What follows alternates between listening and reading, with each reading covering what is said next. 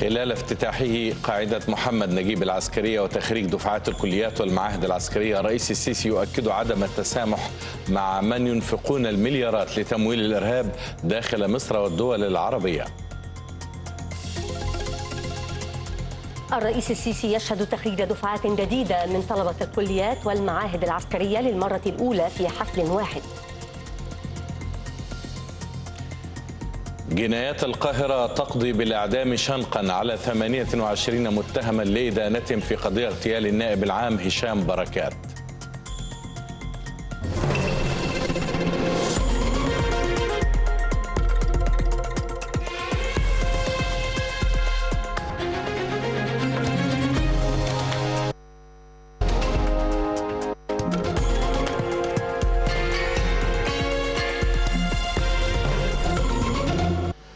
لكم مشاهدينا الكرام ونرحب بحضراتكم في مستهل بانوراما النيل الرابعة عصرا بتوقيت القاهرة تغطية إخبارية شاملة. أهلا بكم إلى تفاصيل الأخبار. قال الرئيس عبد الفتاح السيسي اليوم إنه لا يمكن تصور إمكانية القضاء على الإرهاب من خلال مواجهته ميدانيا فقط والتغافل عن شبكة تمويله ماديا ودعمه لوجستيا والترويج له فكريا وإعلاميا. وأضاف الرئيس السيسي في كلمته خلال الاحتفال بافتتاح قاعة محمد نجيب العسكرية وتخريج دفعات جديدة من الكليات العسكرية. قال إنه لا يمكن التسامح مع من يمول الإرهاب بمليارات الدولارات ليتسبب في مقتل المواطنين في مصر والدول العربية بينما يتشدق بحقوق الإخوة والجيرة. إن الإرهاب ظاهرة معقدة لها جوانب متعددة ولعل من أهمها وطال الصبر عليه هو دور الدول والجهات التي تقوم برعاية الإرهاب وتمويله. فلا يمكن تصور إمكانية القضاء على الإرهاب من خلال مواجهته ميدانيا فقط والتغافل عن شبكة تمويله ماديا ودعمه لوجستيا والترويج له فكريا وإعلاميا. ولا يمكن التسامح مع من يمول الإرهاب بمليارات الدولارات.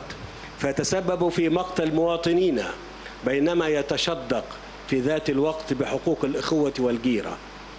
ولهؤلاء نقول إن دماء الأبرياء غالية وما تفعلونه وما تفعلونه لن يمر دون حساب. وأؤكد للجميع إن أن مصر ستظل على عهدها دولة محبة للسلام وداعمة له. بكل قوة بكل قوة جيشها وشرطتها ومفكريها وجميع أبنائها. وستظل عصية على الرضوخ لتهديدات الإرهاب ومن يقفون وراءه. كما أكد الرئيس عبد الفتاح السيسي أن وجود عدد من الأمراء والوزراء العرب دليل على وحدة الصف العربي في مواجهة التحديات. وأضاف الرئيس أن قاعدة محمد نجيب شهدت تطويرا يجعلها تضاهي أحدث القواعد العالمية كما أشاد بأبناء جيش مصر العظيم وما تلقوه من تدريب لينالوا شرف الدفاع عن الوطن. نحتفل اليوم معا بتخريج دفعات جديدة من شباب مصر الأوفياء لينضموا إلى جيش مصر. جيش مصر العظيم في مختلف أفرعه متسلحين بما تلقوه في كلياتهم ومعاهدهم من علم حديث وتدريب راق وبناء متكامل للشخصية وعقيدة قتالية وطنية لينالوا عن جدارة واستحقاق شرف الدفاع عن الوطن وحماية حدوده وصون كرامة أبنائه ورفع رايته عالية خفاق دوما بإذن الله. نحتفل اليوم كذلك بافتتاح صرح عسكري جديد يجسد ما وصلت إليه القوات المسلحة المصرية من تطوير يداهي أحدث القواعد العسكرية في العالم. صرح يحمل اسم الرئيس الراحل محمد نجيب تكريما لإسهامه الوطني وبرهانا على وفاء مصر لابن من أبنائها. تصدى للعمل الوطني في لحظة دقيقة وفارقة. وجه الرئيس عبد الفتاح السيسي تحية تقدير واعتزاز لأرواح شهداء مصر من أبطال القوات المسلحة والشرطة ممن ضحوا بأرواحهم لحماية مصر وشعبها. وأكد الرئيس أن مصر وشعبها يعلمون حجم التضحيات التي قدمتها أسر الشهداء مشيرا أن أنهم سيظلوا دوما محل رعاية الوطن وعنايته وأن الشهداء الأبطال سيظلون رمزا للإلهام وقدوة للتضحية.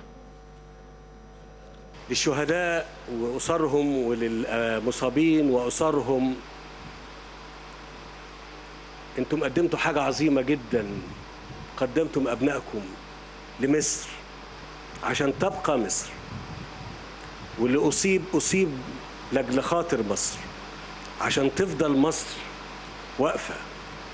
واقفة قدام إرهاب وتطرف ومحاولات لإسقاط الدولة المصرية.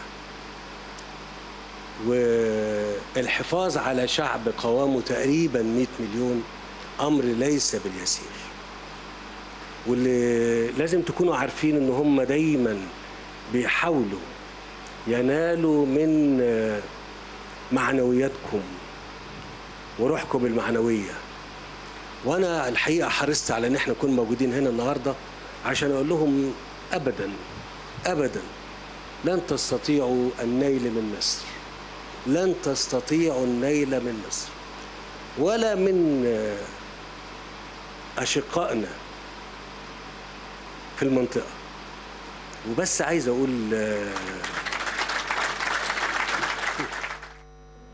كما أوضح الرئيس السيسي أن هيكل الاقتصاد المصري على مدار عقود طويلة ونتيجة لأسباب متعددة. لم يقم بدوره الأساسي في تحقيق الاستفادة المثلى من موارد البلاد. وأشار الرئيس السيسي إلى أنه نتج عن ذلك تراكم أزمات الاقتصاد حتى ارتفعت تكلفة إصلاحه وبات على هذا الجيل حتما لا اختيارا أن يتصدى لهذه المهمة ويرسل الأساس المتين لمصر جديدة متقدمة ينعم شعبها بالرخاء والازدهار. أتساءل معكم بصراحة ووضوح. أتساءل معكم بصراحة ووضوح.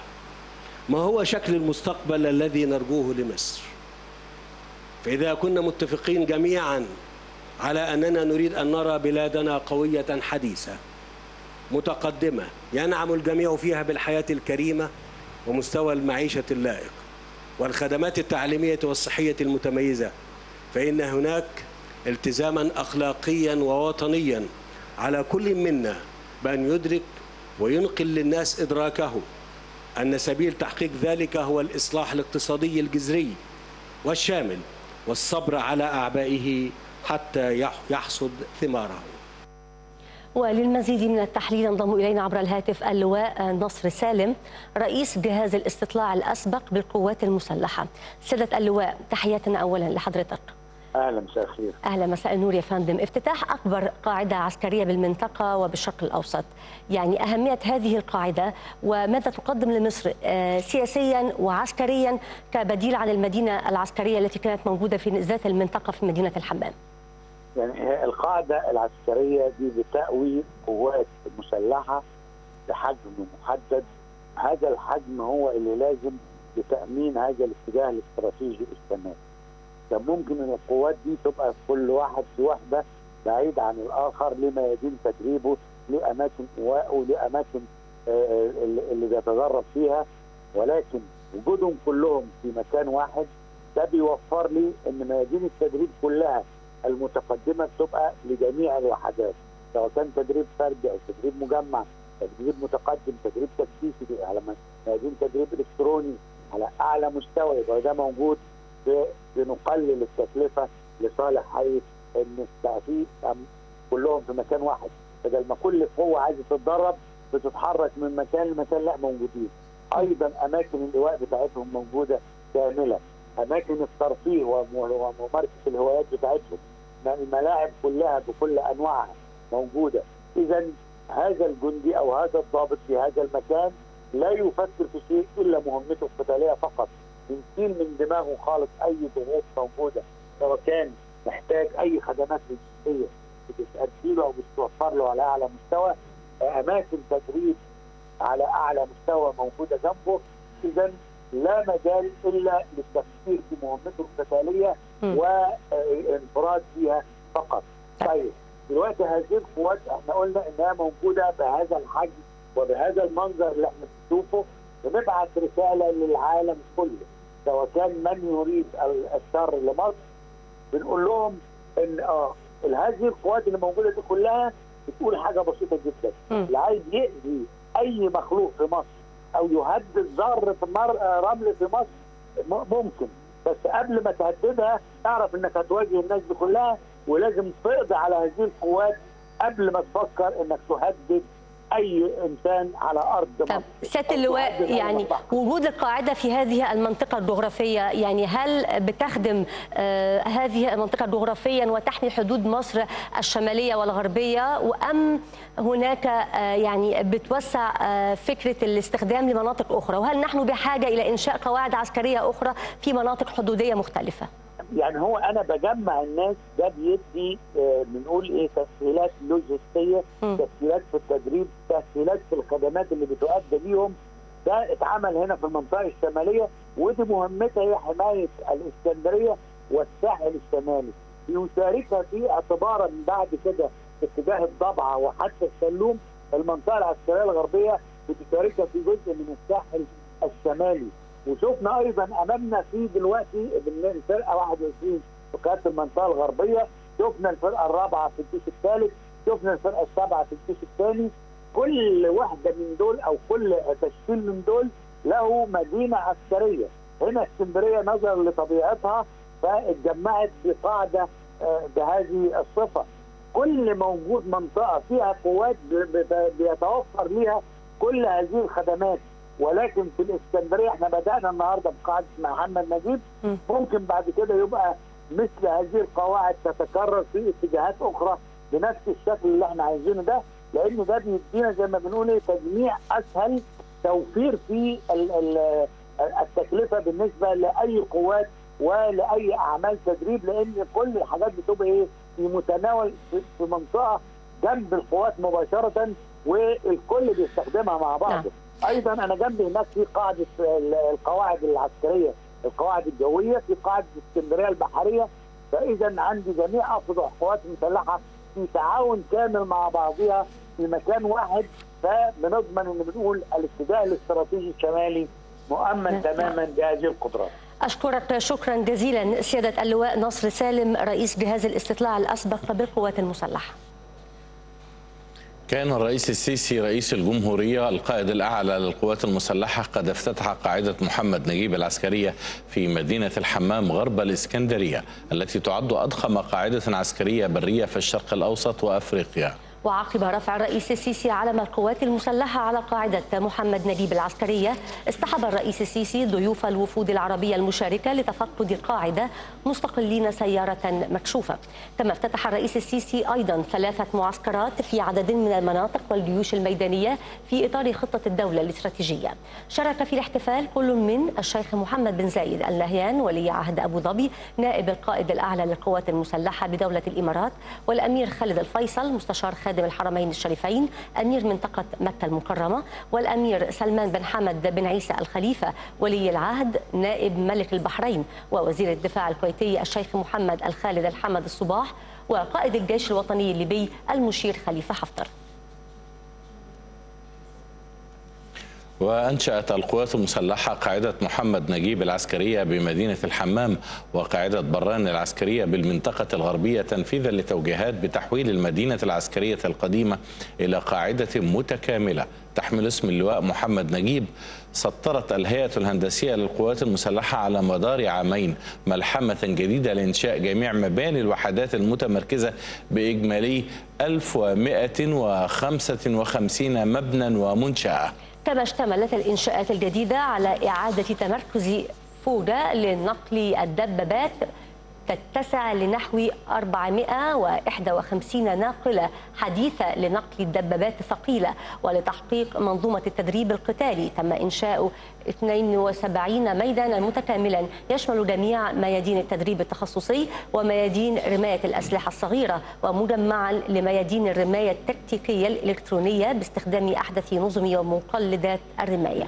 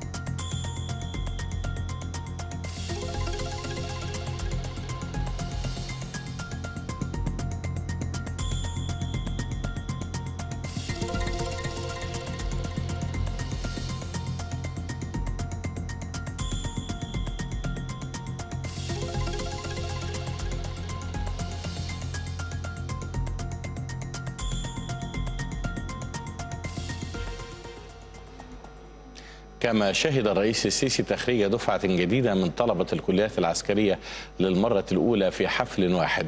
وخلال الحفل الذي حضره أمراء وسفراء عدد من الدول العربية قامت مجموعات من طلبة الكليات بتقديم عروض عسكرية تظهر ما اكتسبوه من مهارات بدنية وتدريبية.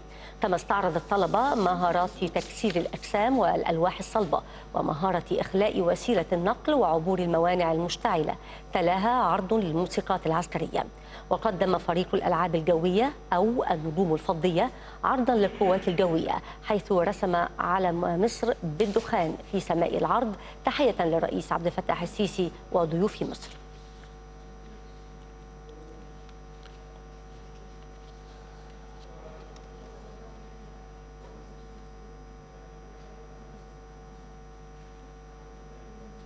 وخلال الاحتفال كرم الرئيس السيسي أوائل الخريجين بمنحهم نوط الواجب من الطبقة الثانية. ثم أدى جموع الطلبة بعد ذلك قسم الولاء أمام سيادته وأهدى أوائل الخريجين. الرئيس السيسي درع الكليات العسكرية كهدية تذكارية كما أهدى أوائل الكليات ذات الطابع المدني الرئيس السيسي المصحف الشريف. وأكد الطلاب الأوائل رغبتهم في خدمة الوطن وحماية مقدساته والتصدي لكافة التحديات التي تواجهها مصر. أبناؤك يعدونك أن يكونوا على قدر المسؤول. ونحن جنبا إلى جنب مع إخوتنا من والمعاهد العسكرية وكلية الشرطة في لوحة وطنية مشرفة. عاهدت فأوفيت. فسعينا جاهدين نبذل قصارى جهدنا في سبيل رفعة وطننا الغالي وتقدمه. أدركنا ما تمر به بلادنا من تحديات عدة. فصار كل منا في مكانه درعا لهذا الوطن الغالي. وفي كلمته خلال الاحتفال أكد الفريق أول صدق صبحي القائد العام للقوات المسلحة وزير الدفاع والإنتاج الحربي أن ثورة يوليو عام 52 جاءت لتدشن حكما وطنيا. يمثل جموع الشعب المصري وإنشاء جيش وطني قوي. وأضاف صبحي أن افتتاح قاعدة محمد نجيب العسكرية يأتي استكمالا لمسيرة رجال القوات المسلحة على مر عصورها المجيدة. واستكمالا لمسيرة الأبطال من رجال القوات المسلحة على مر عصورها المجيدة تشهدون افتتاح قاعدة محمد نجيب العسكرية. يرفرف عليها علم مصر خفاقا بالعزة والكرامة دعما لقدراتها العسكرية شيدتها أياد مصرية خالصة لا تعرف المستحيل. ويقوم عليها رجال أوفياء آمنوا بربهم ووطنهم وأمتهم العربية ومستعدون ببأسهم الشديد والتضحية والفداء لرد الصاع صاعين لكل من يحاول المساس بأمن مصر وسلامة شعبها أو أمن وسلامة أمتها العربية. كما افتتح الرئيس عبد الفتاح السيسي متحف محمد نجيب واستمع إلى شرح مفصل عما يتضمنه المتحف من مقتنيات. وعقب ذلك تم عرض فيلم تسجيلي عن أهداف ومراحل إنشاء قاعدة محمد نجيب العسكرية حيث انتهت القيادة السياسية من إنشاء قواعد عسكرية متكاملة على مختلف الاتجاهات الاستراتيجية بحيث تكون التجمعات القتالية قوية وقادرة على تنفيذ كافة المهام من أبرزها هذه القاعدة الجديدة التي تعد أول قاعدة عسكرية متكاملة على أرض مصر.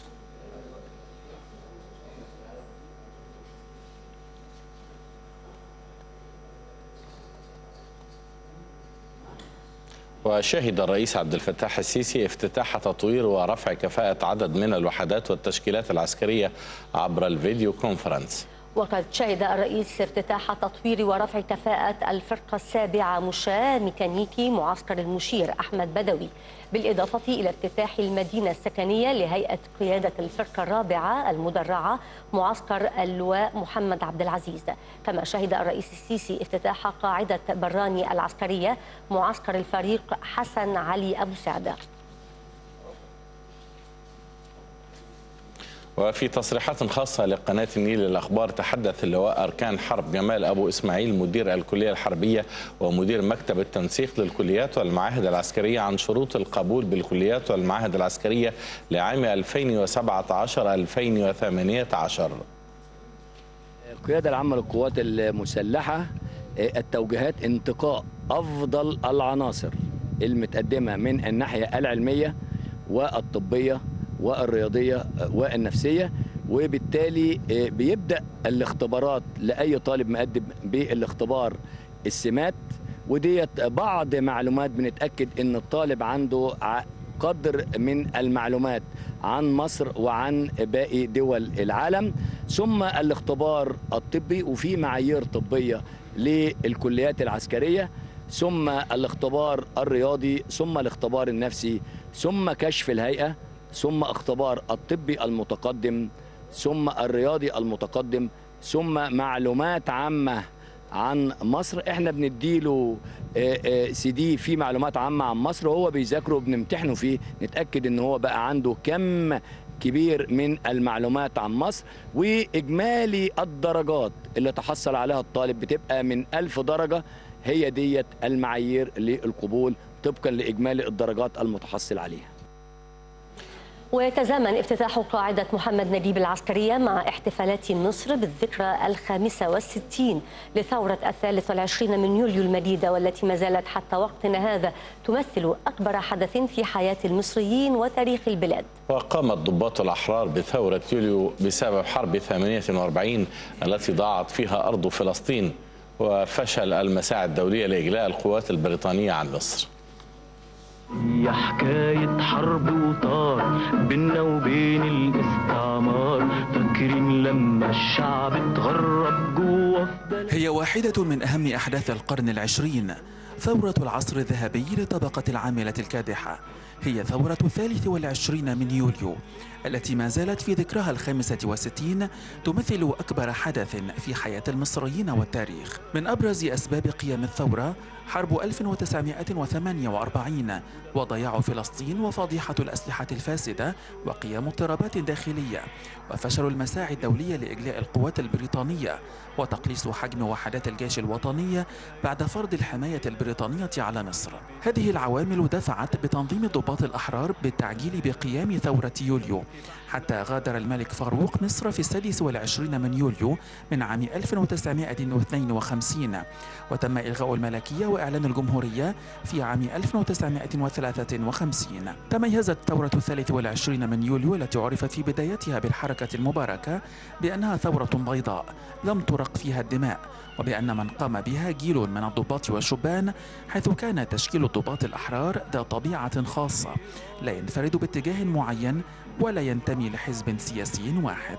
وسرعان ما اكتسبت ثورة يوليو تأييدا شعبيا حيث قضت على الإقطاع وأصدرت قانون الإصلاح الزراعي وأمامت التجارة والصناعة التي استأثر بها الأجانب وألغت الطبقية بين الشعب المصري. ومن الإنجازات السياسية لثورة الثالث والعشرين من يوليو تأميم قناة السويس واسترداد الكرامة والاستقلال والحرية والسيطرة على الحكم في مصر بعد توقيع اتفاقية الجلاء بعد أكثر من سبعين عاما من الاحتلال. كانت من معلم والحصار الاقتصادي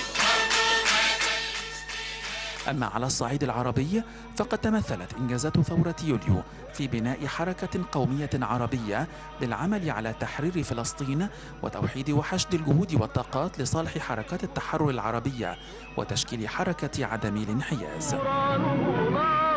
انتصرنا يوم هب يوم أشعلناها ثورة وفي شأن مصري آخر قضت محكمة جنايات القاهرة في جلستها اليوم برئاسة المستشار حسن فريد وبإجماع الآراء بإعدام 28 متهما وذلك لإدانتهم باغتيال النائب العام المستشار الراحل هشام بركات. وتضم القضية 67 متهما من عناصر جماعة الإخوان الإرهابية وتشمل وقائع الاتهام فيها التخابر مع حركة حماس الفلسطينية بهدف القيام بأعمال إرهابية داخل البلاد. ويزيد الفرقة بين أبناء الوطن.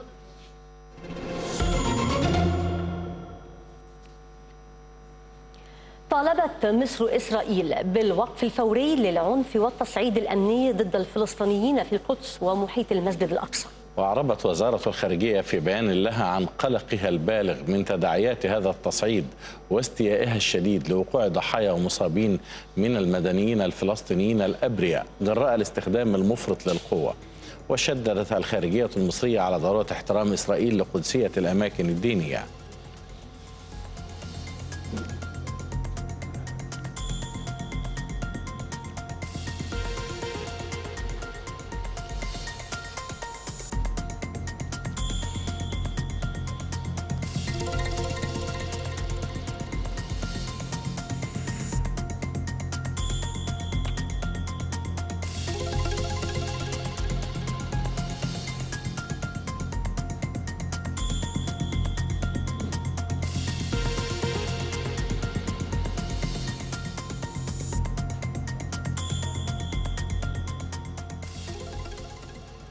اقتحمت قوات الاحتلال الإسرائيلي قرية كوبر غرب رام الله وداهمت منزل شاب فلسطيني تحت مزاعم أنه نفذ عملية طعن في مستوطنة حلميش المقامة على أراضي قرية النبي صالح شمال غرب رام الله وقامت باعتقال شقيقه. يأتي ذلك غداة يوم دام تصاعدت فيه حدة المواجهات بين الفلسطينيين وقوات الاحتلال فيما سمي بجمعة الغضب ما أسفر عن استشهاد ثلاثة فلسطينيين وإصابة المئات في القدس المحتلة ورام الله إضافة إلى مقتل ثلاثة مستوطنين طعنا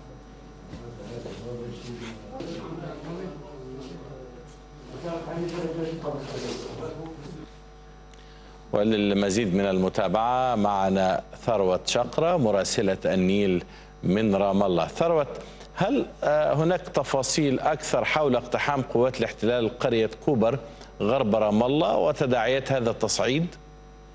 نعم يعني قبل قليل انسحبت قوات الشرطة والجيش الإسرائيلي من بلدة كوبر التي تقع شمال غرب مدينة رام الله. هذه البلدة التي تعتبر مسقط رأس الشاب الذي قام بتنفيذ عملية طعن مساء أمس أحد المنازل في مستوطنة حلميش الواقعة قبال النبي صالح أيضا في رام الله.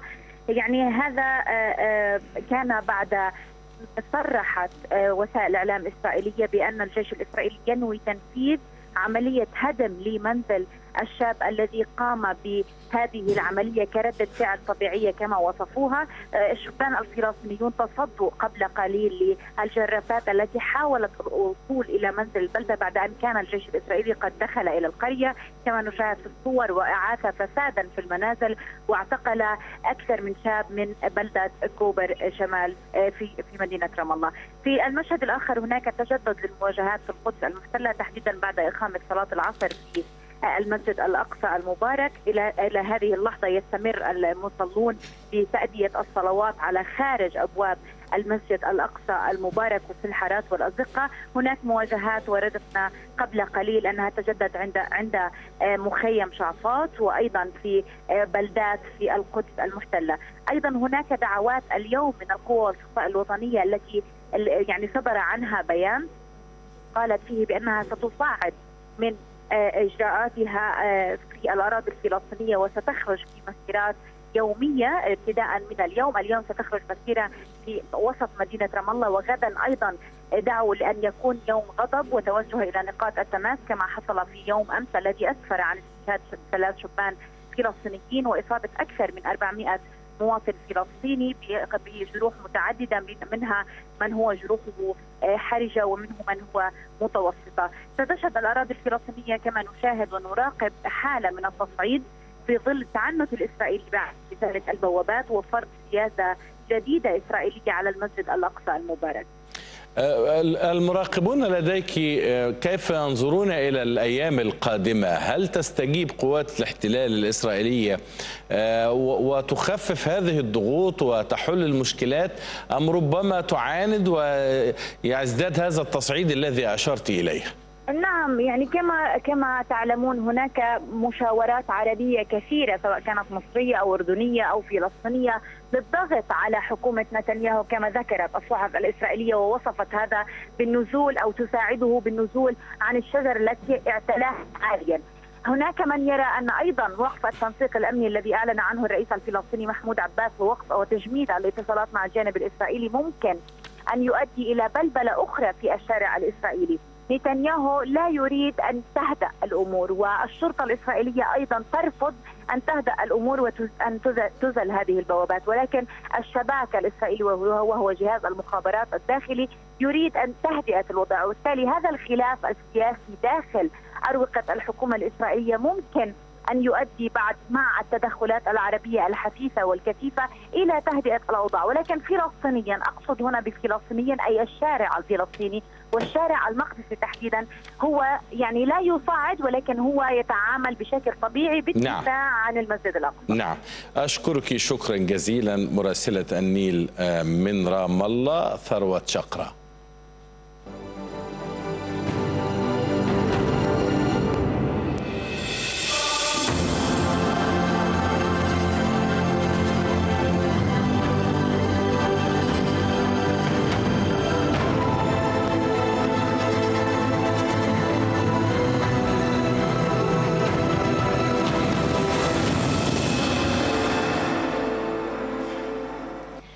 نتحول إلى الملف السوري حيث أعلن الجيش السوري بدء تطبيق وقف الأعمال القتالية في مناطق من الغوطة الشرقية في ريف دمشق اعتبارا من ظهر اليوم. تأتي تلك الخطوة بعد ساعات من إعلان وزارة الدفاع الروسية التوقيع على اتفاق مع فصائل معارضة سورية معتدلة خلال محادثات سلام في القاهرة حول آلية عمل منطقة خفض التصعيد في الغوطة الشرقية.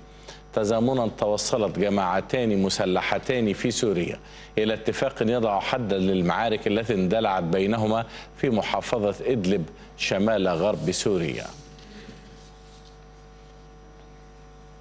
وللمزيد من التفاصيل ينضم إلينا عبر الهاتف أنور رعد مراسل النيل من دمشق. أنور يعني هل بالفعل أولا نجح الجيش السوري في تطبيق وقف الأعمال القتالية في مناطق من الغوطة الشرقية وما هي الحدود الجغرافية لمناطق خفض التصعيد والغوطة الشرقية؟ هي إحدى هذه المناطق التي تم التوقيع عليها اليوم في الاتفاقية بين روسيا والفصائل المعارضة. نعم إلهام عندما يعلن الجيش السوري قرارا ما فهو متمسك به إلى أقصى الحدود. وأعلنت القيادة اليوم وقف الأعمال القتالية في عدد من مناطق في عدد من مناطق الغوطة الشرقية بريف دمشق. بدءا من ظهر اليوم السبت. وأكدت القيادة العامة للجيش في بيان لها إنه سيتم الرد بالشكل المناسب على أي خرق من قبل الجماعات الإرهابية الموجودة في الغوطة الشرقية. وياتي هذا بعد ساعات من إعلان وزارة الدفاع الروسية إن قيادة القوات الروسية العاملة في سوريا أي في حميميم في مدينة اللاذقية أبرمت بوساطة مصرية. اليوم السبت اتفاق ضبط عمل مناطق تخفيف التصعيد في الغوطة الشرقية. وقرر الجانب الروسي والمعارضة المعتدلة بموجب الاتفاق تسيير أول قافلة إنسانية إلى الغوطة وإخراج أول دفعة من المصابين والجرحى اعتبارا من اليوم. كما تم في الاتفاق رسم حدود منطقة وقف التصعيد في الغوطة الشرقية وتحديد مواقع انتشار قوات الفصل والرقابة في الغوطة وصلاحياتها.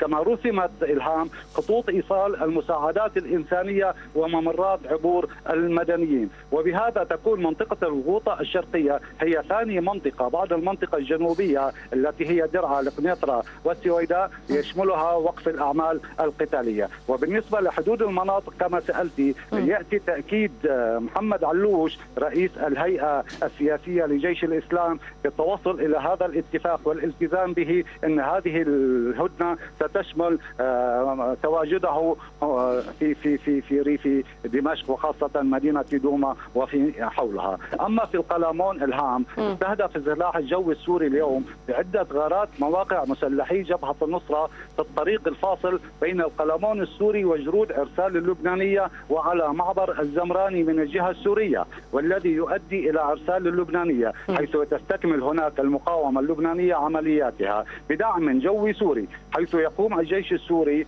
باستهدافات جوية على خطوط الدعم والمواقع الخلفية للتنظيمات الإرهابية في المنطقة وتمكن من السيطرة على عدة مرتفعات بجرود فليطة بالقلمون الغربي أي بالجانب السوري في الوقت الذي أصبح فيه الجيش السوري والمقاومة اللبنانية يشرفون ناريا ومباشرة على وادي العويني الذي يعد بحكم الساقط نعم. عسكريا. وهناك أنباء إن جنود فليطة في القلمون أصبحت محررة بالكامل. طبعا لا يتوقف نشاط الجيش السوري هنا بل يمتد إلى الرقة وحمص حيث في الرقة دمر الطيران السوري تجمعات وتحركات لتنظيم داعش في الريف الجنوبي الشرقي من خلال توجيه ضربات مكثفة على طرق إمداد وتجمعات لتنظيم داعش في مدينة معدان وقرية بئر السبخاوي بالريف الجنوبي الشرقي وبحسب مصدر عسكري سوري إن الضربات حققت إصابات مؤكدة في صفوف ارهابيي تنظيم داعش ودمر نعم. العدد من مقراته والياته أنور ورشته. يعني آه، نعم. سؤال آخر يتعلق بالوضع في آه، محافظة إدلب شمال غرب سوريا ماذا عن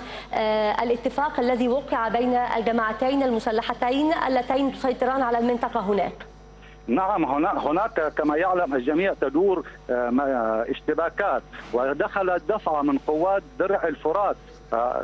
تخيلي الوساطة اتت قوات درع الفرات المدعومة تركيا آه، في ريف حلب الشمالي دخلت من هناك إلى محافظة إدلب عبر معبر باب الهوى الحدودي مع تركيا وسط اشتداد المعارك بين حركة أحرار الشام وهيئة تحرير مم. الشام والتي خلفت جرحى في صفوف المدنيين آه، هذه ال- ال- القوات نعم. من درع الفرات التي دخلت تعمل كفصل ما بين حركة نور الدين الزنكي وفيلق الشام المتحاربتان هناك وهي مجموعات إرهابية على كل الاحوال أشكرك جزيل الشكر آه، على كل هذه التفاصيل. مراسل النيل أنور رعد كنت معنا على الهاتف من دمشق. أحبطت قوات الجيش اللبناني محاولة قام بها مسلحو جبهة النصرة لاختراق مراكزه في جرود عرسال حيث استهدفت مدفعية الجيش اللبناني هؤلاء المسلحين. يأتي ذلك في الوقت الذي تدور فيه اشتباكات لليوم الثاني على التوالي بين قوات الجيش السوري وميليشيا حزب الله من جهة ومسلحي جبهة النصرة في جرود عرسال على الحدود اللبنانية السورية من جهة أخرى. تتواصل الاشتباكات العنيفة في تلال عرسال اللبنانية وقرى قلمون بالجانب السوري. الاشتباكات تجددت بقصف المدفعي في تلال عرسال لميليشيات حزب الله وغارات جوية لطائرات سورية على مواقع للمجموعات المسلحة. كما استهدف سلاح المدفعية في الجيش اللبناني مجموعة من مسلحي حزب الله في وادي الدم كانت تحاول التسلل نحو مواقع للجيش في عرسال. أدى إلى وقوع قتلى وجرحى من مقاتلي حزب الله. حزب الله اللبناني أعلن في وقت سابق أن مقاتليه يشنون عملية عسكرية ضد مسلحين في منطقة جرود عرسال الحدودية مع سوريا. انطلاقا من مواقع عسكرية تابعة له على جانبي الحدود اللبنانية السورية. الاشتباكات التي بدأت الخميس الماضي بين ميليشيات حزب الله والقوات السورية من جهة والقوات اللبنانية وميليشيات النصرة وسرايا الشام من جهة أخرى أسفرت عن وقوع عشرات القتلى والجرحى. ويرفض حزب الله وضع سقف زمني للمعركة بينما تعيش بلدة عرسال هدوءا حذرا على واقع الاشتباكات المحيطة بها. كان الجيش اللبناني قد أعلن في وقت سابق أنه سمح لمجموعة من النساء والأطفال بالدخول إلى عرسال من مخيم مدينة الملاهي القريب من مراكز المسلحين. نشرتنا متواصلة مع حضراتكم وفيها بعد الفاصل. الجيش الليبي يواصل مطاردة فلول الإرهابيين ببنغازي بعد بسط سيطرته التامة على عدة مناطق.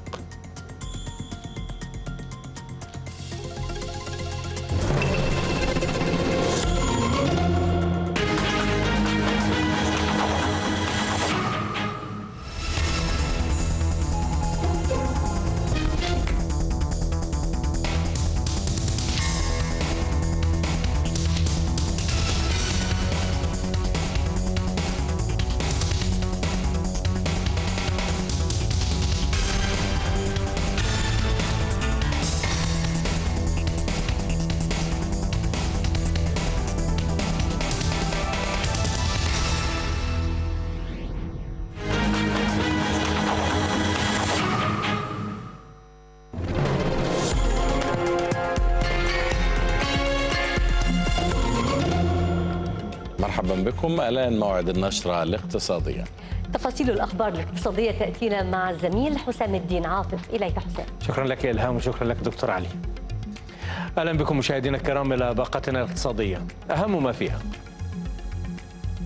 وزارة الإسكان تفتح باب الحجز بالإعلان التاسع للإسكان الاجتماعي وتطرح كراسة الشروط في الثاني عشر من أغسطس القادم.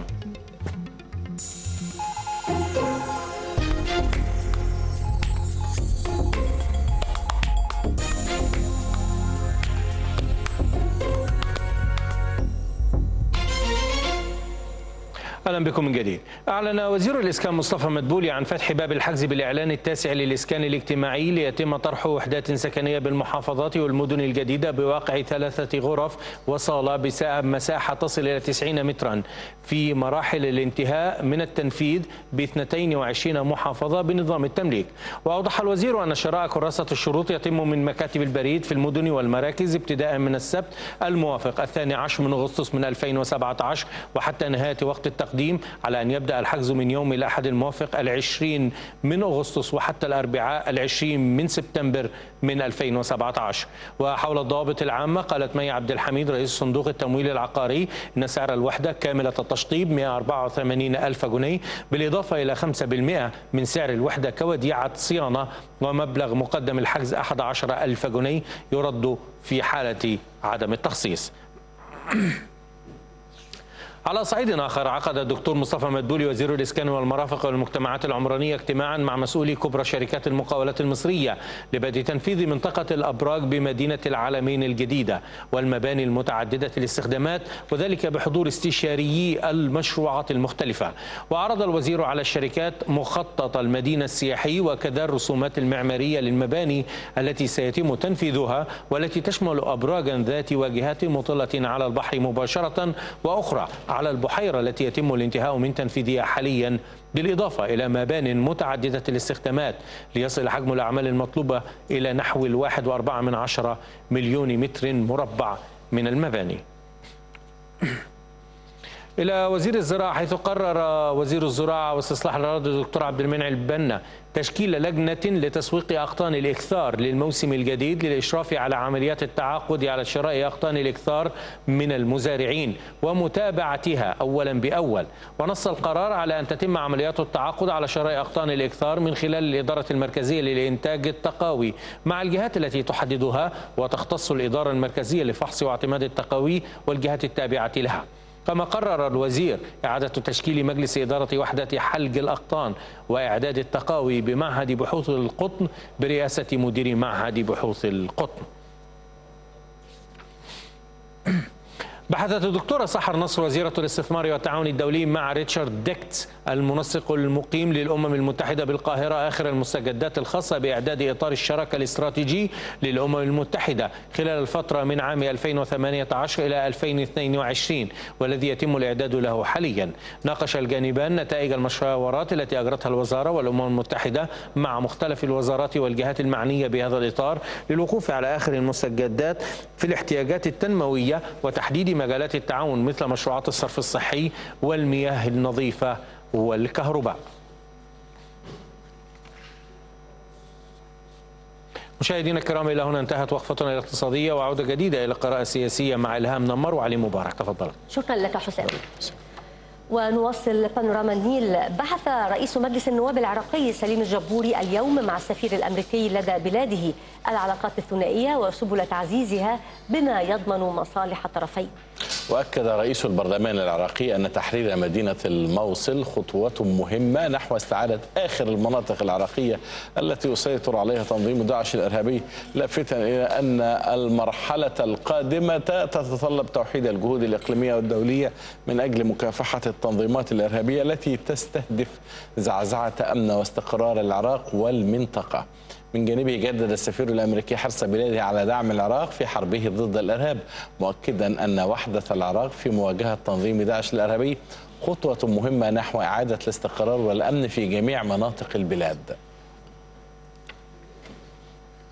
أعلن المتحدث الرسمي باسم القوات الخاصة الليبية العقيد ميلود الزوي إن القوات الخاصة قد بسطت سيطرتها التامة على المنطقة الواقعة خلف أقواس الفندق البلدي التي كانت تتحصن فيها فلول بقايا المجموعات الإرهابية. وأشار الزاوي إلى أن القوات المسلحة قد استهدفت بالمدفعية أماكن كانت الجماعات الإرهابية تلوذ بها حيث فككت الهندسة العسكرية ألغاما زرعها الإرهابيون في عدد من المباني لعرقلة بسط الجيش سيطرته على المنطقة وإلحاق خسائر بشرية بقوات الجيش التي أغلقت العديد من الطرق وقامت بتمشيط المنطقة.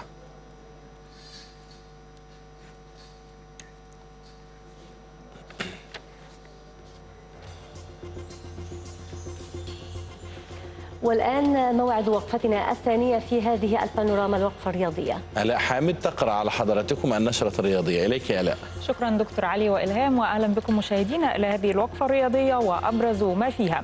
الأهلي يفتتح مشواره في البطولة العربية للأندية ومواجهة الفيصلي الأردني.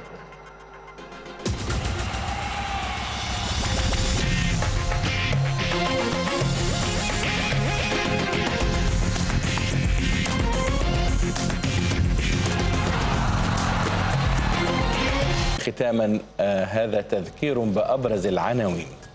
إن الإرهاب ظاهرة معقدة لها جوانب متعددة ولعل من أهمها وطال الصبر عليه هو دور الدول والجهات التي تقوم برعاية الإرهاب وتمويله. خلال افتتاحه قاعدة محمد نجيب العسكرية وتخريج دفعات الكليات والمعاهد العسكرية الرئيس السيسي يؤكد عدم التسامح مع من ينفقون المليارات لتمويل الإرهاب داخل مصر والدول العربية. الرئيس السيسي يشهد تخريج دفعات جديدة من طلبة الكليات والمعاهد العسكرية للمرة الأولى في حفل واحد. جنايات القاهرة تقضي بالإعدام شنقا على 28 متهما لإدانتهم في قضية اغتيال النائب العام هشام بركات. عند هذا الحد تنتهي بانوراما النيل. شكرا للمتابعة لقاؤنا على رأس الساعة بإذن الله.